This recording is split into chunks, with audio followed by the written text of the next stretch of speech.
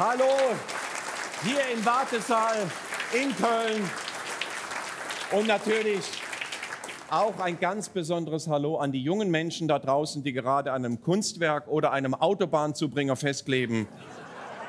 Ja, ich weiß nicht, wie es Ihnen geht, aber ich bin da ein bisschen hin und her gerissen. Ja, auf der einen Seite habe ich natürlich totales Verständnis für junge Menschen, denen der Arsch nicht mal mehr auf Grundeis gehen kann, weil denen das Eis unterm Arsch wegschmilzt. Wenn wir ehrlich sind. Aber auf der anderen Seite bin ich mir aber auch nicht sicher, ob es der Sache dient, wenn man Erbsensuppe auf ein Van Gogh-Gemälde kippt. Natürlich ist Wegkippen das Beste, was man mit Erbsensuppe machen kann.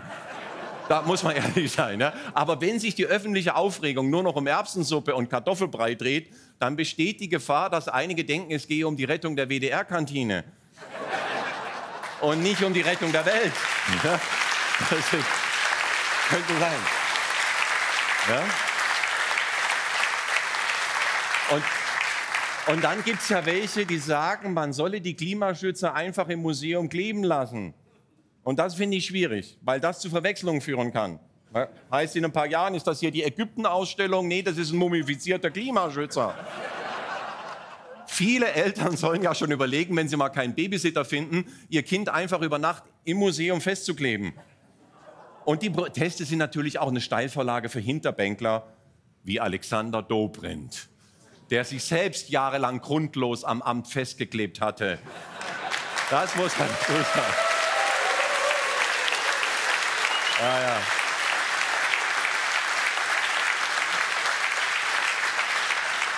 Habt ihr mitbekommen? Habt ihr mitbekommen? Er befürchtet die Entstehung einer Klima-RAF. Da sage ich, geht's noch dicker, Dobi? Hm? Warum nicht gleich eine Klima-SS oder die grüne Hitlerjugend? Und dann sagt er noch, die Klimaproteste können Leib und Leben anderer gefährden. Da sage ich, nein, Leib und Leben gefährden vor allem Autos. Das ist das Verrückte. Den Klimaschützern, danke, danke hier, den Klimaschützern Mörder, Mörder zuzurufen, während man am Steuer eines SUV sitzt. Das ist wirklich passiert. Das ist wie sich einpinkeln und dann anderen zurufen, ihr Pisser. Ja, das ist ja so nicht zu glauben. Ja. Das Verrückte ist, Leib und Leben ist ständig gefährdet. 2018, wahre Geschichte, hat sich ein Mann aus Hamburg zur eigenen sexuellen Befriedigung mit seinem Körper mit Scheibenkäse belegt. Ist in einen Taucheranzug gestiegen, hat sich eine Tüte über den Kopf gezogen und sich vor einen eingeschalteten Heizkörper gesetzt. Und daran ist er gestorben.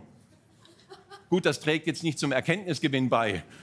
Aber wenn ich Dobrindt reden höre, dann möchte ich mich auch mit Scheibenkäse belegen. Ja? Andererseits tue ich mir mit Blockaden von Autostraßen schwer.